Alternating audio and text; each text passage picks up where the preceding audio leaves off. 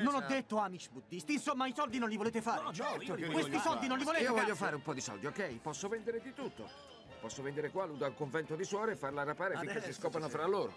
Vendo Adesso hai cosa. capito, tu puoi vendere di tutto? Sì, Bene, certo, vendimi di questa tutto. penna, cazzo. Vendi di tutto? Coraggio. Vendimi la penna.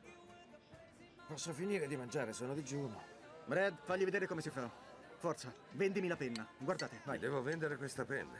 Sì, dai, fammi vedere. Questa penna. Lui vende tutto. Mi faresti un favore? Scrivi il tuo nome su quel tovagliolo. Non ho la penna. Eccola, basta che domandi, no? Avete visto? Ha creato un bisogno. Li portate a voler comprare le azioni, li convincete che ne hanno bisogno, capite che voglio dire? Lo sapevo che questi ragazzi non erano laureati a Harvard. Quell'imbranato di Robbie Feinberg ci ha messo 5 anni per fare la prima liceo. Holden Kapfenberg, detto la lontra, non si è nemmeno diplomato. Chester Ming, il cinese depravato, credeva che il jiu-jitsu fosse in Israele. Il più sveglio era Nicky Kaskoff, che aveva studiato legge. Io lo chiamavo tappetino per quel parrucchino di merda. Comunque, datemi i giovani, gli affamati e gli stupidi, e in men che non si dica, li faccio diventare ricchi.